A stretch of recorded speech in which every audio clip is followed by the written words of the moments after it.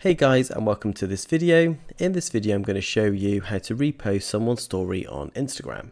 Now in order to do this there is something that you should know first. You cannot repost someone's story unless you're actually tagged on the story. So if someone mentions you in their story, Instagram is going to allow you to share and repost that story on your timeline. So as you can see, I've got this dummy account in which I've already shared a story that I mentioned on, another account. So in order to repost this story, I'm going to have to switch my profile first.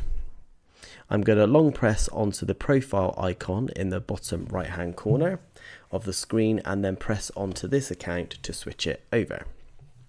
Now, if you go into the notifications, you can see that I've been mentioned in that story.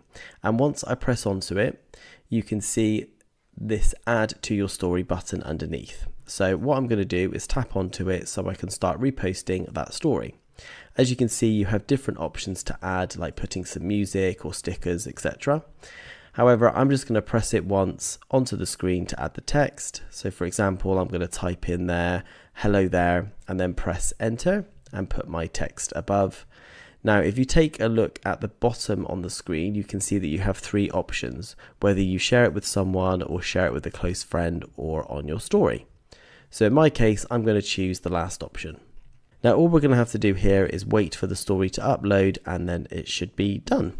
Now as we open up the story you can see that we have successfully reposted the story that we were tagged in.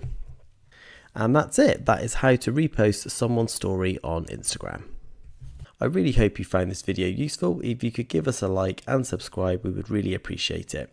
Catch you guys in the next one.